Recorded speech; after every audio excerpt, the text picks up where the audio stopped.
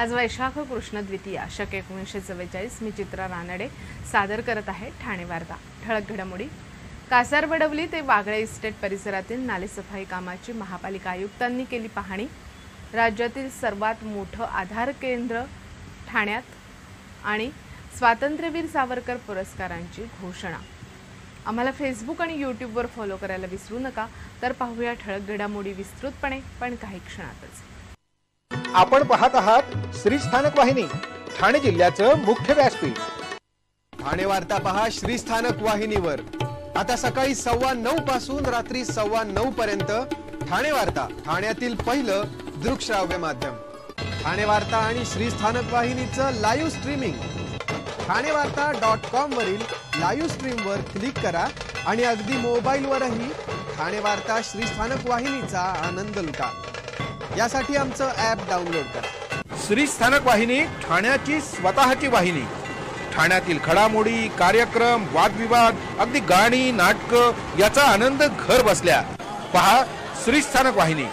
आपल्या ठाण्याचं हक्काचं व्यासपीठ श्री स्थानक वाहिनी.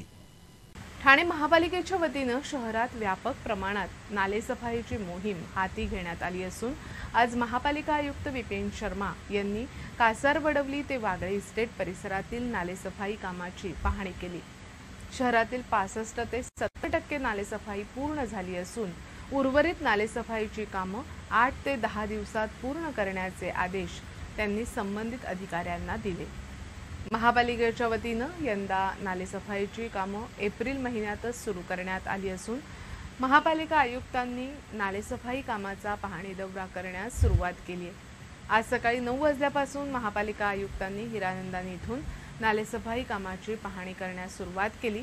यावेळी हिरानंदानी ब्रह्मांड पार्क बटाटा कंपनी कासारबडवली नाला castle mill K villa Chandanwadi Wagle प्रभाग समिती मुलुंड चेकनाका लोढा यशस्वी नगर रोड नंबर सोळा किसन नगर तसंच आय टी आय येथील नालेसफाईची पाहणी केली. या सर्व नाल्यांची खोली वाढवणं डेब्रीज उचलणं नाल्याचा प्रवाह मोकळा करणं प्रवाहातील अडथळे दूर करण्याच्या सूचना महापालिका आयुक्तांनी दिल्या. यंदा पावसाळ्यामध्ये कुठेही पाणी साचणार नाही याची दक्षता घेण्याच्या दृष्टीनं अत्यावश्यक उपाययोजना करण्यासोबत नालेसफाईकडे गांभीर्यानं लक्ष देण्याच्या सूचना महापालिका आयुक्तांनी संबंधितांना दिल्या आहेत. राज्यातील सर्वात मोठं आधार कार्ड केंद्र ठाण्यात उभारण्यात आलं असून या केंद्रात अवघ्या दहा मिनिटात आधार कार्डची प्रक्रिया पूर्ण केली जाते. ठाण्याच्या लेक सिटी मॉलमध्ये हे केंद्र सुरू करण्यात आलं असून रोज तीनशेपेक्षा अधिक नागरिक या केंद्राचा लाभ घेत आहेत. या ठिकाणी आधार कार्ड काढण्याची पद्धत सोपी आणि सुटसुटीत असून अवघ्या दहा मिनिटात सर्व प्रक्रिया पूर्ण होते. या ठिकाणी सोळा काउंटरच्या माध्यमातून ही प्रक्रिया पूर्ण करण्यात येते. सध्याच्या घडीला या केंद्राच्या माध्यमातून दोनशे ते अडीचशे आधार कार्ड काढण्याच्या आणि दुरुस्तीच्या प्रक्रिया राबवण्यात येत आहेत. तर या ठिकाणी प्र प्रतिदिन एक हजार आधार कार्ड काढण्याची प्रक्रिया राबवण्याची क्षमता असल्याची माहिती केंद्र प्रमुखांनी दिली आहे. कापरबावडी येथील उभारण्यात आलेल्या या आधार कार्ड केंद्राला आमदार संजय केळकर यांनी भेट देऊन तेथील प्रक्रिया समजावून घेतली.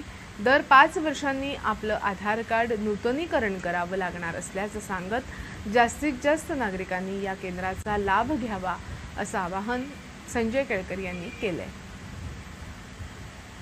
भारतीय जनता पक्षाच्या माजी नगरसेविका सुनंदा दाते यांचं निधन झालं. त्या मामी या नावानं परिचित होत्या. जनसंघाच्या कार्यकर्त्या म्हणून त्यांनी काम केलं होतं. स्थायी समितीचं सभापती पदही त्यांनी भूषवलं होतं.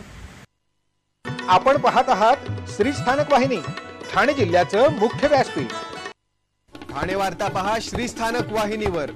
आता सकाळी सव्वा नऊ पासून रात्री सव्वा नऊ पर्यंत ठाणे वार्ता ठाण्यातील पहिलं दृकश्राव्य माध्यम.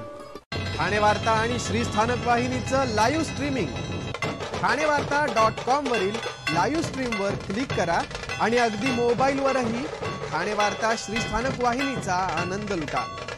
यासाठी आमचं ऍप डाउनलोड करा. आपला परिसर स्वच्छ आणि सुंदर ठेवण्यासाठी ठाणे महापालिकेत सहकार्य करा.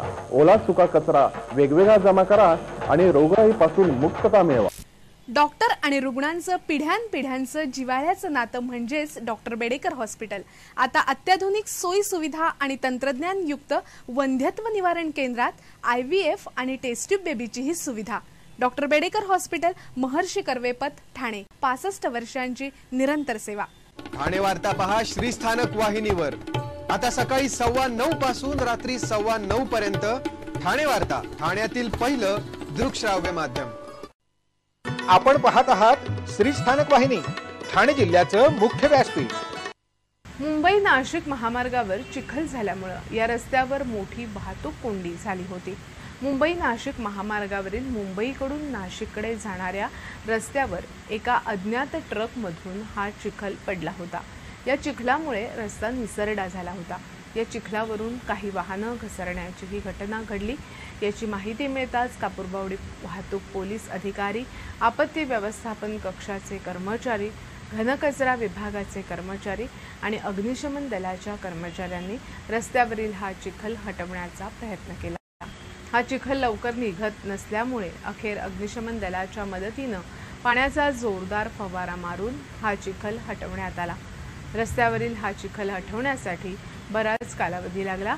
यामुळं मुंबई नाशिक महामार्गावर साकेत ब्रिजपासून कॅडबरी सिग्नलपर्यंत तसंच घोडबंदर रस्त्यावर माजिवडा ब्रिजपासून ब्रह्मांड सिग्नलपर्यंत सुमारे एक तास मोठ्या प्रमाणावर वाहतूक कोंडी झाली होती.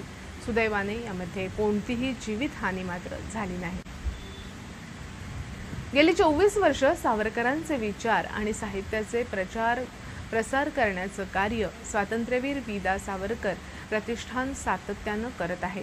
अठ्ठावीस मे रोजी सावरकर जयंतीच्या दिवशी सावरकर प्रतिष्ठानच्या वतीने कला साहित्य उद्योजक पत्रकार आणि सामाजिक या क्षेत्रात गौरवास्पद कार्य करणाऱ्या व्यक्तींचा प्रतिष्ठेचा समजला जाणारा सावरकरांच्या नावाचा पुरस्कार प्रदान करून गौरव करण्यात येणार आहे. यावर्षी कला या विभागात गेली पंचवीस वर्ष कथ्थक नृत्य क्षेत्रात कार्यरत असणाऱ्या आणि अनेक मुलींना कथ्थक नृत्यात पारंगत करणाऱ्या निवेदिता रानडे यांचं नाव निश्चित करण्यात आलं असून साहित्य विभागात ज्येष्ठ साहित्यिक अनंत देशमुख उद्योजक विभागात ज्येष्ठ उद्योजक श्रीकांत बापट पत्रकार विभागात ज्येष्ठ पत्रकार अनुपमा गुंडे सामाजिक विभागात करोना काळात आपल्या जीवाची पर्वा न करता अनेक करोनाची लागण झालेल्या रुग्णांना स्वतः हॉस्पिटलमध्ये दाखल करण्यासाठी नेणारे आणि त्यांच्या कुटुंबियांची काळजी घेणारे किरण नागती यांना हा पुरस्कार जाहीर करण्यात आला आहे. जिल्ह्यात करोनाचे बारा नवीन रुग्ण आढळले असून दिवसभरात एकही मृत्यू नाही. सध्या जिल्ह्यात एकशे बावन्न ॲक्टिव्ह रुग्ण आहेत तर आत्तापर्यंत अकरा हजार आठशे पंच्याण्णव जणांचा मृत्यू झाला आहे ठाणे महापालिका क्षेत्रात आठ रुग्ण सापडले. सध्या नव्वद रुग्ण उपचार घेत आहेत तर दोन हजार एकशे सत्तावीस जणांचा मृत्यू झालाय. कल्याण डोंबिवलीमध्ये एकही नवीन रुग्ण नाही. सध्या आठ रुग्ण उपचार घेत आहेत तर आत्तापर्यंत दोन हजार नऊशे चौपन्न जण दगावले आहेत. ठाणे ग्रामीणमध्ये एकही रुग्ण नाही. सध्या एक रुग्ण उपचार घेतोय. आतापर्यंत एक हजार दोनशे छप्पन्न करोनाग्रस्तांचा मृत्यू झाला आहे आपण पाहत आहात श्री स्थानक वाहिनी ठाणे जिल्ह्याचं मुख्य व्यासपीठ. ठाणे वार्ता पहा श्रीस्थानक वाहिनीवर. आता सकाळी सव्वा नऊ पासून रात्री सव्वा नऊ पर्यंत ठाणे वार्ता ठाण्यातील पहिलं दृकश्राव्य माध्यम. ठाणे वार्ता आणि श्रीस्थानक वाहिनीचं live streaming Thane Varta dot com वरील लाईव्ह स्ट्रीमवर क्लिक करा आणि अगदी मोबाईलवरही ठाणे वार्ता श्रीस्थानक वाहिनीचा आनंद लुटा. यासाठी आमचं ॲप डाउनलोड करा. ठाणे वार्ता आता संकेतस्थळावर देखील. ठाणे वार्ता डॉट कॉम वर क्लिक करा आणि ठाण्याच्या घडामोडी जाणून घ्या. ठाण्यातील पहिलं ऑनलाईन माध्यम ठाणे वार्ता डॉट कॉम ठाणे वार्ता पहा श्रीस्थानक वाहिनीवर. आता सकाळी सव्वा नऊ पासून रात्री सव्वा नऊ पर्यंत ठाणे वार्ता ठाण्यातील पहिलं दृकश्राव्य माध्यम. आपण पाहत आहात श्री स्थानक वाहिनी. ठाणे जिल्ह्याचं मुख्य व्यासपीठ.